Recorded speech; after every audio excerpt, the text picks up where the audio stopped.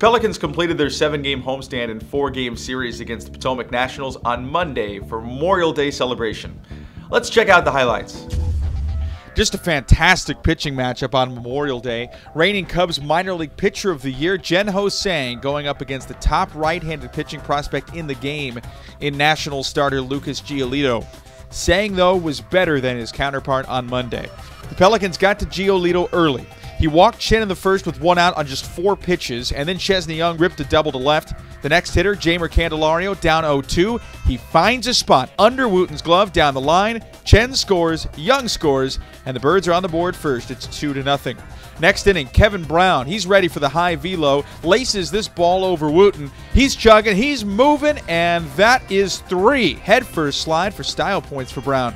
Giolito fan the next two batters, but Zagunis up, down no balls, two strikes. Giolito a pitch away from escaping the inning, and nuh-uh, says Zagunis. Double sneaks down the right field line, puts the Birds up 3 0.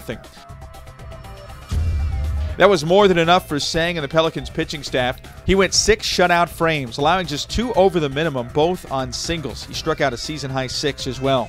Michael Heesch and Taylor Scott combined to close it out over the final three innings, and the Pelicans took the game 3 0, their second shutout win of the year. They won the series three games to one as well and made it a winning homestand, four games to three.